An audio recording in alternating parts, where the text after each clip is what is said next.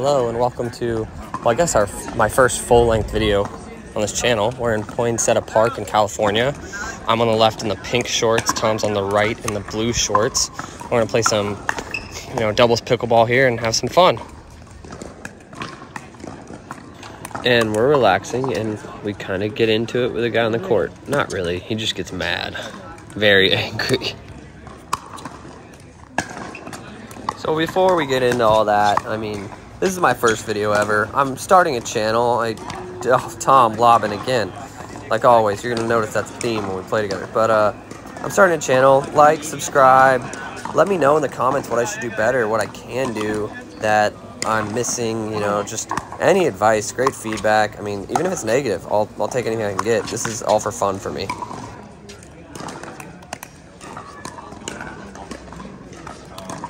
So with a tennis background, I obviously am more comfortable with the drive, and you're about to see uh, why. I mean, Tom right here, this ball goes in the net, easy dink. He's probably thinking, you know, wow, you suck. I can't stress how much, like, we're playing this game just for fun and how the video doesn't show how frustrated the guy on the other side, the right on the right side of the court, is getting. Just mad. I mean, whispering under his breath, "Lucky shot" at us over and over.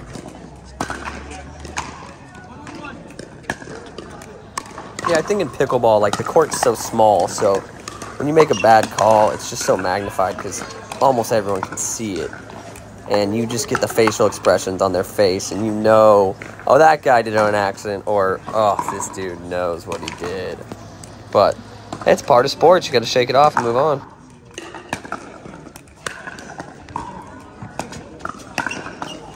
In this moment this is the moment where you just want to break your paddle over your knee or on the ground and then you realize that this overpriced hunk of junk is like 220 bucks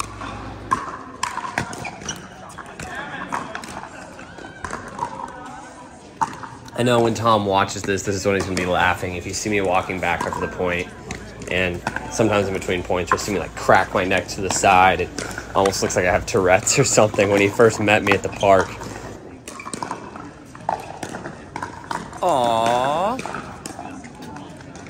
Sorry to break up that story there, but yeah, when he first met me at the park, I was just cracked my neck side to side. I still do that. Been doing that for a long time. Uh, I hurt my neck when I was, I guess, like basically fresh, uh, yeah, no, senior year of high school, and I crack my neck a lot, and you know I get big knots in there and vertebrae out of place. So you'll see me looking like an idiot. Yeah, there's a third shot drop, and another, and a third third shot drop, unsuccessful. What am I doing? Luckily, the guy on the other side of the net bailed me out with a terrible dink, but yeah, that's a third shot drop expert right there. Uh, Not.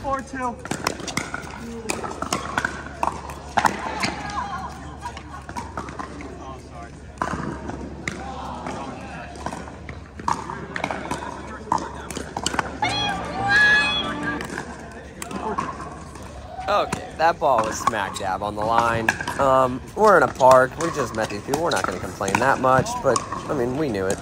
And then now, what am I thinking here? This is just... Yeah, this is why Tom needs a new partner.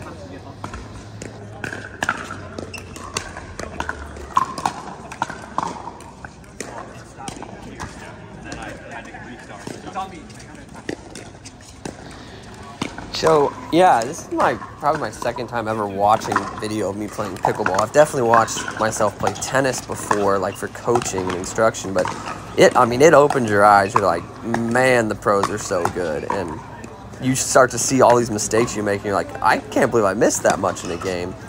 And yeah, so I think it's, it's good for coaching. It's good for humility. It's good for, you know, seeing where you're on your back foot like that on the dink, Tom. Like, get balance, buddy. Oh, that's a one. Tom has this stupid thing. It's like he watched the Terminal List with Chris Pratt, and then he tried to apply it to his whole life. But he'd, be, he'd been doing this before that show came out, which is an amazing show, by the way, top notch. He always says you're on his list. I mean, that means he needs to. It was at this moment his anger meter, well, it just started to rise. He started spiking the ball back, making sure we had to go get it in between points. And there's just a little bit of underhanded, you know, lucky, just weird mumblings under his breath. And now he just, his, his, his ears started to steam a little bit. So yeah, at this moment, he would be on Tom's list, which is imaginary, but apparently like 50,000 people that play pickleball are already on it at this point. And he's like, go fetch. All right, let's randomly break down this next point. Um, I, you know, struggling to stack here because I don't know where the heck I'm supposed to be half the time. And yeah, I mean, Tom, was that supposed to be a lob, brother? Like, or were you trying to get the ball hit at me?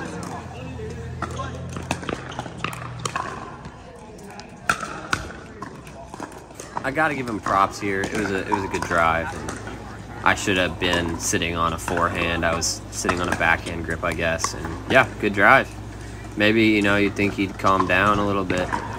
You know, and there's another line call right there. I mean, eh, I think it was out, but everything close or even on the line was definitely getting called out. All right. I mean, like underhand serve, basically. Tom plays it well. Good volley. And a missed drop. You know, in general, when you can keep your opponent back because they just don't come in, you don't even have to hit a hard ball. Just roll it at their feet. Make his partner, you know, the shorter gentleman on the other side, was really nice. So when he hit the ball far away from us, made his fetch, like it was nice. He was apologizing. You know, every time he communicated with us, he had good manners, and you know, it's just normal. Just normal. We just met in the park let's you know let's have a friendly game.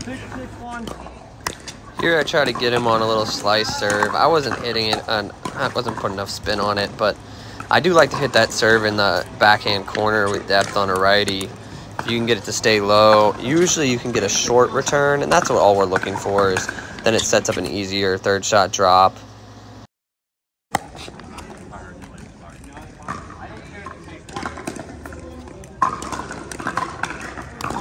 Well, I'm going to stop pausing and starting my chat and kind of go more to a commentary mode right now. Um, getting to the midpoint of this match. Um, our opponent was getting a little bit frustrated on the other side. Sadly, you know, with the tripod view, you really don't see that much emotion from him.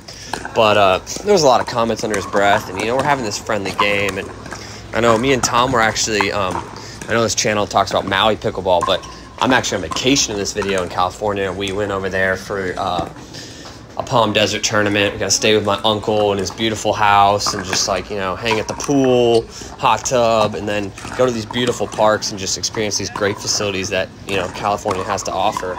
Um, and, you know, we're, we're enjoying ourselves. And I guess you could say, I think it's funny because, uh, well, there's just a little bit of controversy at the end of this match. But, uh, yeah, needless to say, me and Tom, you know, we played in a tournament and it didn't go as well as we planned, but we had a lot of fun. Um, you know, just a lot of fun, and you know, and I just want to break down some of this, like a little volley battle here, and then me bricking in the net, of course, and that kind of became a theme of the tournament. You know, I just gotta I gotta work on my hand speed, and especially on that backhand side, rolling those volleys. Tom here with a drive that's just like unheard of for him. I don't think he knows how to drive the ball. He'd be the first to say that um, there, and then he misses that forehand volley. So Tom, if you're watching this, stop missing forehand volleys. It's it's embarrassing. You're better than that. Here's where I thought that guy was just trying to tag Tom to get back at him because I hit a good cross court dink and that dude just railed the ball at him. Um, I don't know. I need to give this guy a name. Maybe it's just Angerhead. But yeah, I thought Tom was going to Ernie that, but I guess it just wasn't there that's that's one of his best shots, that backhand Ernie. Um, early, even in the first point of the game, he actually earning that for like a medium height lob, and they just looked at each other and looked kind of like who plays that. So Angry Head on the other side, you know, he just kind of walks with a mean demeanor. Um, his partner, his name is actually Axel. We got to talk to him, uh, I guess, after a couple more games, and he was just such a nice guy. Actually, um, I sent him the video of the games, and you know just I, I really liked Axel. I thought he was a genuine person. He was a good player, good hands. Um, But unfortunately, in this game, we just started picking on his partner here. Like you noticed, most of that one was a little wide. I know Tom was pretty bummed, but you know we were getting calls close to the line there, and you know, uh, I guess what I could say. Sorry, I'm a little congested. Is like, you know, Axel was being kind, but this other guy just, man, he was killing the vibe, and so there's a good drop by Tom. I intercepted but hit a bad ball, and that kind of spiraled out to me getting over Nova just smacked on me. But uh, yeah, guys, I I'm new to this. This is the first video I've ever edited, so I mean, like, subscribe if you enjoy this video. I'm gonna try and upgrade my content. The quality I know is gonna get better. I'm gonna try and post more gameplay, some drills, some coaching stuff, just anything pickleball. I mean, I'm a pickleball addict now. I love it. Um, it's the fastest growing sport in the world. Um, oh, we missed that. I mean, I think there was another chance. He just wanted to hit me. So the previous game we played them, not shown. The very first point of the match, Tom nailed this dude with an overhead.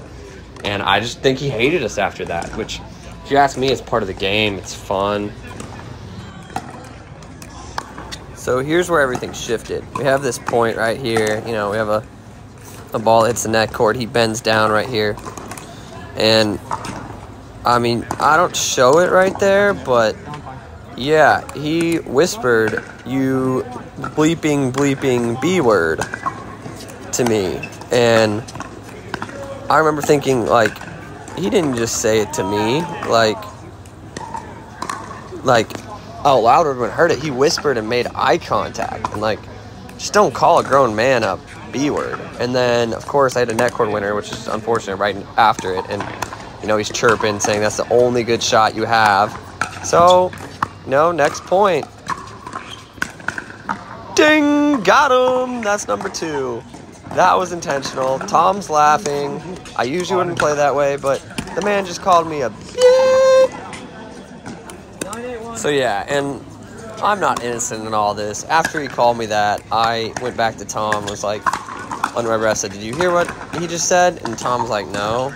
And so when I hit that net cord winner and he said, All your shots are lucky, you know, y'all are trash, I definitely might have told him to shut up in a more colorful way, which is uncharacteristic for me on a court. But yeah, at this point, like, it was just like these are random strangers we never met. And for him to call me the B word, to me, that's like just something you never do to another grown man unless it's joking and like you're best friends and you talk that way to each other. But yeah, I mean, I just, I just don't get it. Like, but continue the fun. At this mo- moment, like, my anger's gone. Like, I just want to beat them and kick them off the court so they have to wait to play. And you know, Tom and me are communicating well at this point. We're starting to play like more in a groove, I would say. You know, I felt like we knew, you know, we're taking control of this game. Like, we can dominate the weaker player on the other side. He obviously was getting frustrated, and that that is any any athlete knows when your opponent's getting frustrated. It's it's fun to pick on them a little bit, just keep hitting the ball at them, kind of poke the bear. There's a good drop by Tom. You know, that drive there to end the game, probably going out, but he hasn't proven he can get out of the way. So, oh, and I, for, this is where I explained to Tom how he tapped my paddle and then he tried to oh, spear me with his paddle afterwards. The little petty.